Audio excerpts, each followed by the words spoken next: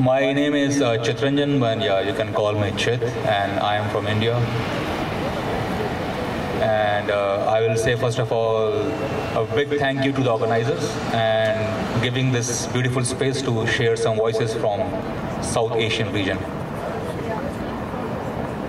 Um, je- namasté, je, je m'appelle Tit, euh, je viens d'India. En première, je vais remercier pour l'organisateur et avoir cet euh, espace pour euh, parler. Today morning, uh, when I woke up, I read a very sad news, and this news was about India and Sri Lanka. Cet matin, que je me suis réveillée, euh, j'ai vu des nouvelles qui sont très euh, sad, tristes. And this news is that uh, in the past uh, two days, due to heavy rain and uh, flooding, more than 60 people have died uh, in India and Sri Lanka. The death count is still increasing as I speak right now. 6 million people have become refugees in Sri Lanka and 2 million in India in the last 48 hours only. 48 hours. Alors, euh, je me suis réveillée ce matin et j'ai entendu qu'il y a 60 personnes qui euh, sont mortes parce qu'il y a euh, de l'eau qui euh, ça monte. Et en India, Sri Lanka, il y a 6 millions de réfugiés déjà. Et en India, il y a 2 millions. Et ça numéro, ça monte euh, pendant qu'on parle maintenant. South Asia is a region with a total population of 2 billion. So you can say uh, Earth's 25% or more than that population is like, you know, uh, living uh, in that region. And climate refugees are increasing each year and the numbers are in millions and millions. Euh, L'Asie du Sud compte 2 billions euh, milliards de personnes, c'est-à-dire 25% de la population de, la Terre. Et le nombre de réfugiés climatiques ne cesse d'augmenter. On parle de millions de personnes qui sont déplacées. Each year we see floods, incessant floods, or droughts, landslides, and which results into climate refugees. Millions of people enter into extreme poverty, which leads to social unrest, human trafficking. Most of people who suffer are women and children. Dans cette région, on voit des inondations sans cesse, euh, des sécheresses, des euh, landslides, des tombées de la terre, euh, qui ne fait, en effet, euh, qui fait augmenter le nombre de réfugiés climatiques, qui est une cause principale de la pauv- pauvreté extrême.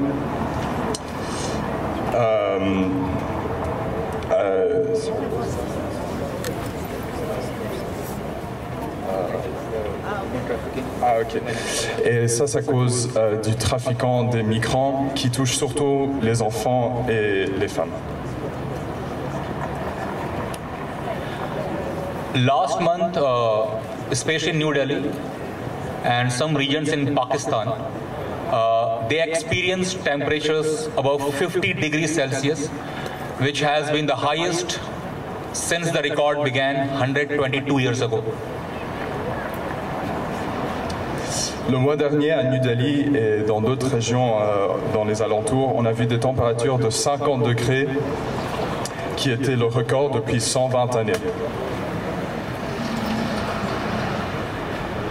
Unfortunately, uh, what we experience in South Asia, and especially my experience from India, growing up in New Delhi, heat waves, floods have become now a routine. So every week, somewhere we see something is happening in some part of India, and story remains the same.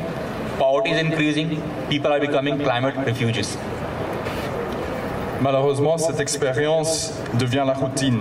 On voit que ces, ces événements ne cessent d'augmenter dans la région et qui causent, comme on a dit, euh, une augmentation de la pauvreté euh, sans cesse. So far, I was only talking about the problems, uh, symptoms like people are becoming climate refugees, people are dying, but we should also discuss why this is happening, what's the root cause. On a juste parlé euh, des effets de la crise climatique et écologique, mais on devrait aussi parler des causes euh, de cette crise. Understand any problem, uh, it's important to understand a little bit history also. And now I will go into this area of climate justice and also the colonial history.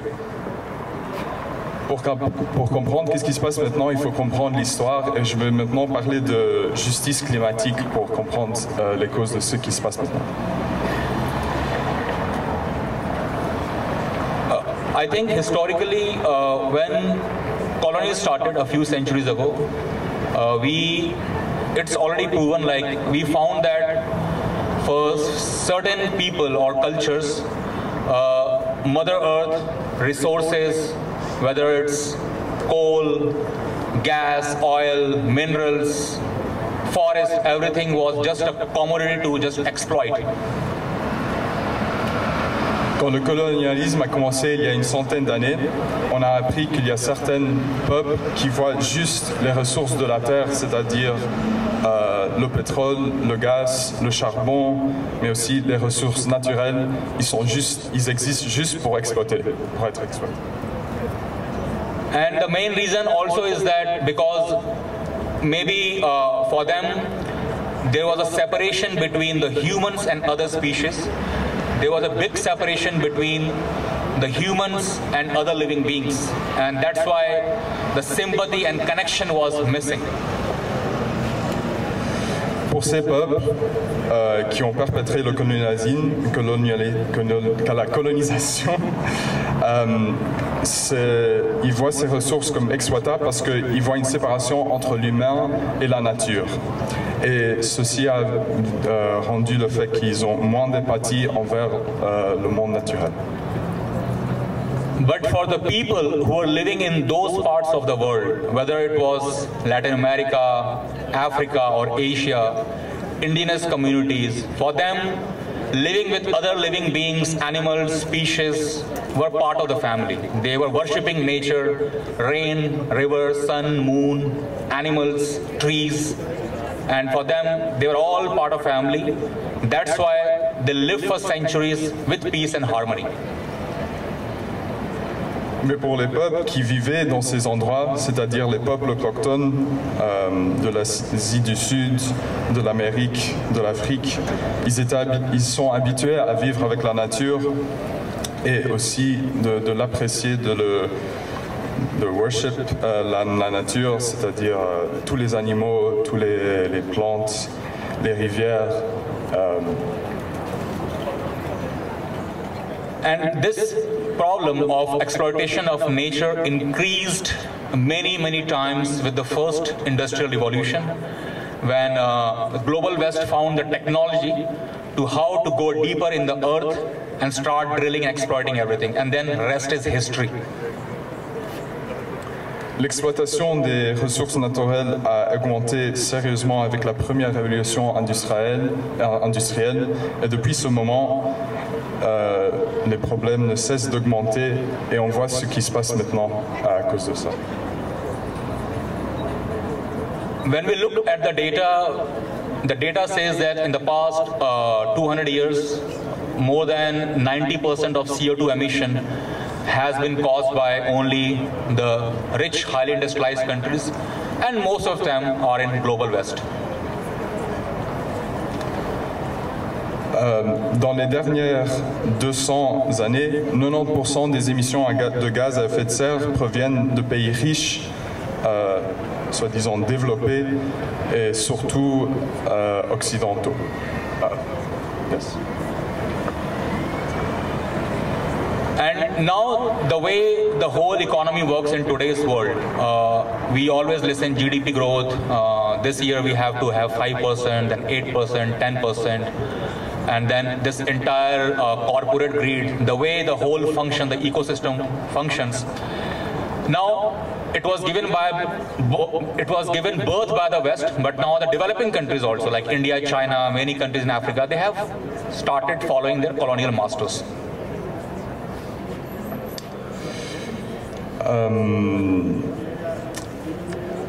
L'addiction, la- être accro à la croissance économique était au début un, produit des pays occidentaux, mais ensuite cette forme de manière de voir euh, les choses, d'être euh, accro à, la croissance économique, euh, s'est infiltré dans les pays en voie de développement, les pays du Sud, qui commencent à avoir les mêmes attitudes que ces pays-là.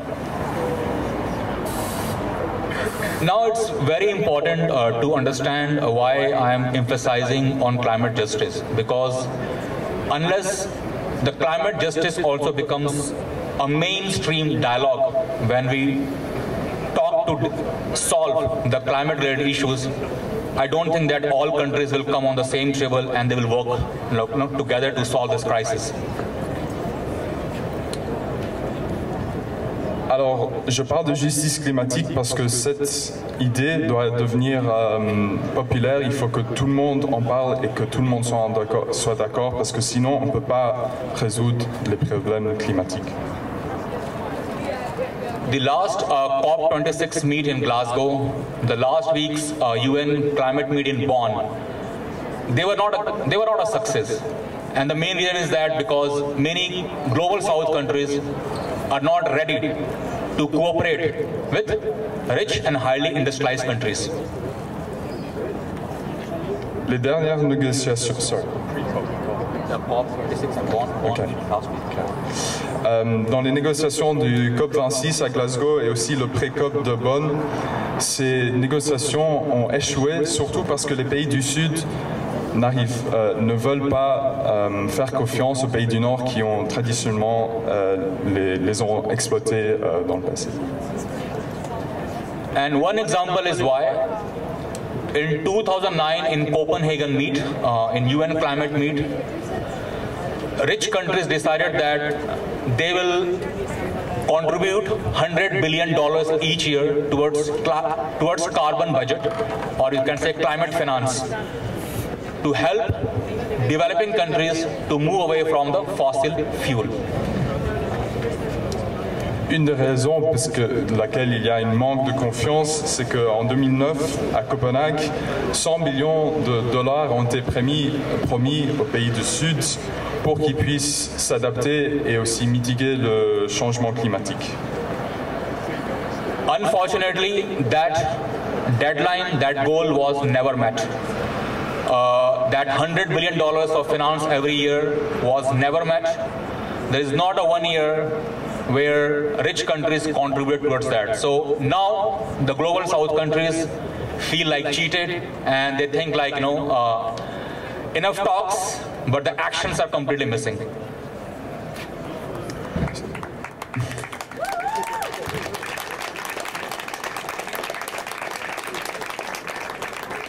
Euh, ces finances n'ont jamais été, euh, ces finances promis, on ne les a jamais données aux pays du Sud. Alors est-ce que c'est surprenant que ces pays du Sud global se sont, euh, qu'on les a, qu'on parle, on fait juste du blabla et on ne fait pas d'action?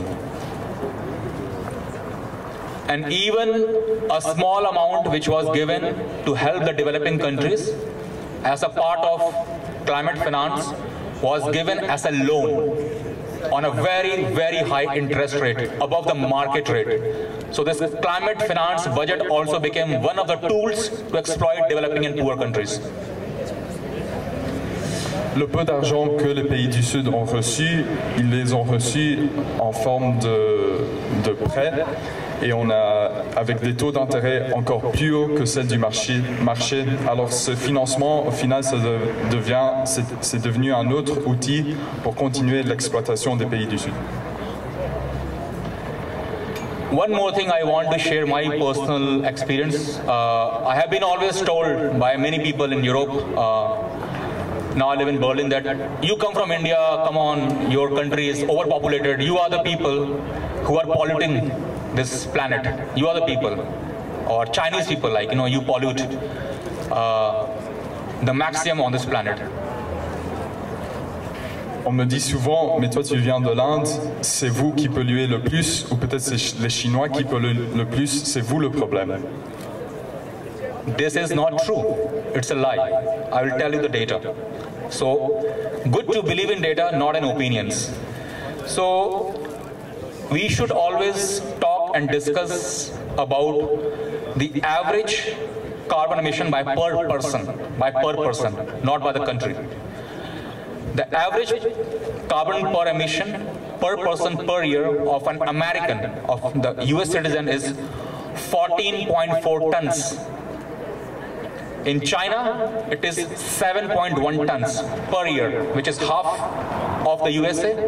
In India, for an average Indian, 1.7 times, 1.7 tons, eight times less than an average American.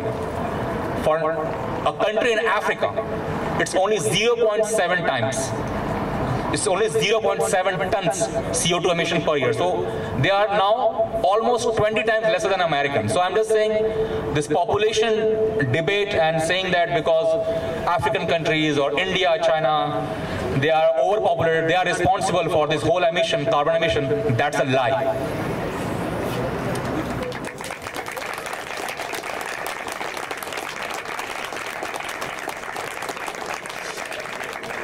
Ce n'est vrai que l'Inde, la Chine et d'autres pays du Sud sont émis plus de gaz à effet de serre seulement dans l'absolu. Si on voit le nombre d'émissions de gaz à effet de serre par personne, on voit une autre image. Aux États-Unis, c'est 14,4 tonnes euh, de gaz à effet de serre euh, qui est pollué euh, chaque année par personne. En Chine, c'est la, la moyenne de ça. Euh, le demi de ça, c'est 7,1 une tonne par année. En Inde, c'est encore moins, c'est 1,7 tonnes. Et en Afrique, c'est 0,7. C'est-à-dire que euh, dans un pays euh, de moyens en Afrique, on, pollue 20 fois moins qu'aux États-Unis. Alors si on voit les datas dans de cette perspective, on voit que ce n'est pas vrai que le pays du Sud pollue plus. One more example, uh, the clothes we buy in uh, supermarket in uh, Europe, you go to Primark or fast fashion stores or any H&M stores, very cheap clothes you find, like you know, 5 euros, 10 euros. They are coming from Bangladesh. They are people, women, children stitching Bangladesh in Vietnam, and people use it and throw it here. And we don't realize that how much carbon waste we generate this is one example. Another example is that also lots of trash, plastic, is dumped in Vietnam, Philippines, Indonesia, African countries in tons and tons every year. They have landfills with tons of trash, and it comes from where? Global West. Un autre exemple, nos vêtements sont surtout euh, produits dans des pays du Sud Euh, pour que ça soit pas euh, moins cher, qu'ensuite on les achète et puis on les jette euh, on, jette ça dans la poubelle qui crée des waste, de des déchets, merci. un autre exemple, nos déchets à nous, c'est-à-dire par exemple les vêtements qu'on achète du Bangladesh, sont ensuite envoyés aux pays du Sud où on les met dans des euh, landfills. I think I spoke about a lot climate justice, and uh, I think that's uh, why climate justice is very important if we want to find a solution of this biggest climate catastrophe or man-made catastrophe we humans are facing today. Je vous ai parlé de justice climatique parce que c'est important si on veut résoudre le problème climatique et écologique. There is a very uh, famous uh, phrase in Sanskrit. It's very popular in Indian subcontinent, and we call it uh, Vasudhaiv Kutumbakam. Uh, in English means this world is one family. Il y a euh, on dit quelque chose en sanskrit que je ne vais pas répéter, euh, et c'est qui, veut dire this world, this world, euh, ce ce monde est euh, une grande famille. And we, all our family members who are here, and everyone, no matter from which part of the world we come, and we humans, even all living beings, all living species, rivers, nature, mountains, plants, flowers, birds, we are all part of this family, and we all have to live together peacefully and with enough love and compassion.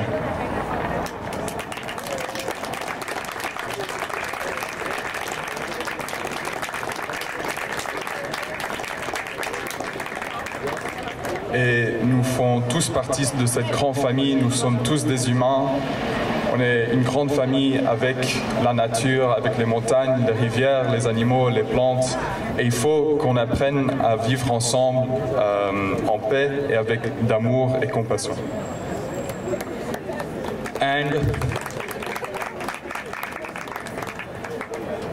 it's a privilege uh, to uh, share these things here and to be honest everyone sitting here is a privileged person you are part of a european union european union is a very powerful rich influential body and i think eu has enough means and tools to work towards a solution and to solve this problem for sure if they are serious.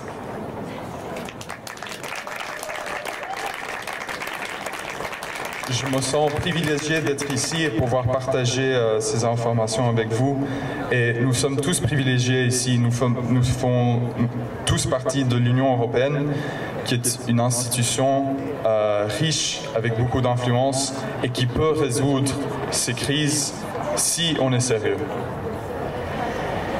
And um, last sentence, uh, once again, let's uh, reconnect with the nature, Mother Nature, with all living beings, river, mountain, species, everyone, all humans. And I think we have enough knowledge and skills to seriously solve this problem because millions of species are looking on the human species like what they're going to do because they are dying because of us. But we can solve this. We can stop this crisis. Namaste and thank you so much.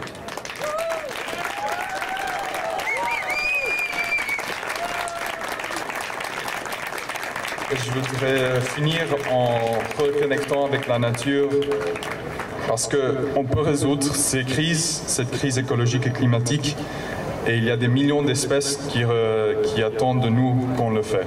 Merci.